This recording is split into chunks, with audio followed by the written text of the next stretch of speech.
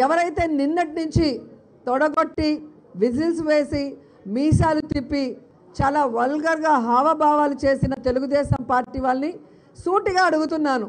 నిన్నటి నుంచి skill development scam మీద మాట్లాడాలని వాయిదా తీర్మానం ఇచ్చారు.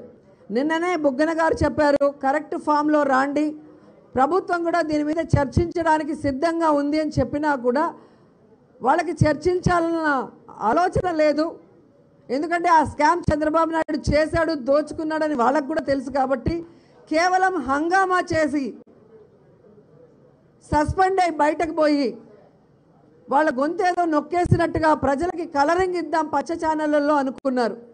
తీరా ఈరోజు అజెండాలో ఈ స్కిల్ డెవలప్మెంట్ స్కామ్ ఎలా జరిగింది అన్న దాని మీద చర్చ పెట్టగానే ఏ విధంగా వాళ్ళు అసెంబ్లీని బాయ్కాట్ చేశారో చూస్తే వాళ్ళని అడగాలనిపిస్తుంది. మీకు మాట్లాడటానికి దమ్ము ధైర్యం లేదా? లేకపోతే స్కిల్ డెవలప్మెంట్ స్కామ్లో మీకు కూడా వాటాలు ఉన్నాయా? లేకపోతే బాలకృష్ణ గారికి సినిమాలో మాత్రమే డైలాగులు చెప్పడం వచ్చు అసెంబ్లీలో చెప్పడం రాదా అని అడుగుతున్నా.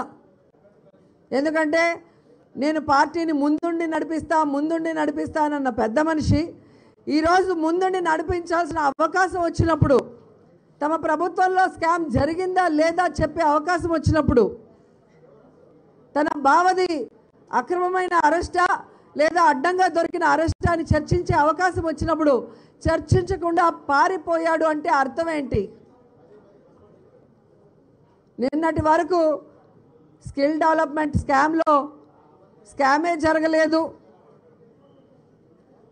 అసలు వైఎస్ఆర్సీపీ వాళ్ళ దగ్గర ఆధారాలే లేవన్న పెద్ద మనుషులు మరి స్కామ్ జరగనప్పుడు మా దగ్గర ఆధారాలు లేనప్పుడు మీరు ఎందుకు మాట్లాడకుండా పారిపోయారని ఈ సందర్భంగా మిమ్మల్ని అడుగుతున్నాను. సో మీకే కాదు ఈ రాష్ట్ర ప్రజలకి కూడా ఏ విధంగా ఒక క్లారిటీగా క్లారిటీగా కన్నబాబు గారు కానివ్వండి పేర్ని నాని గారు కానివ్వండి అలాగే ఫైనాన్స్ మినిస్టర్ బుగ్గన గారు సాక్ష్యాధారాలతో చూపించారు. ఎప్పుడైతే రెండు వేల పద్నాలుగులో చంద్రబాబు నాయుడు గారు అధికారంలోకి వచ్చాడో వచ్చిన రెండు నెలలకే ఈ స్కామ్కి శ్రీకారం చుట్టారు అనేది ఈరోజు రాష్ట్ర ప్రజలకి అర్థమైన విషయం. అలాగే మీరు చూస్తే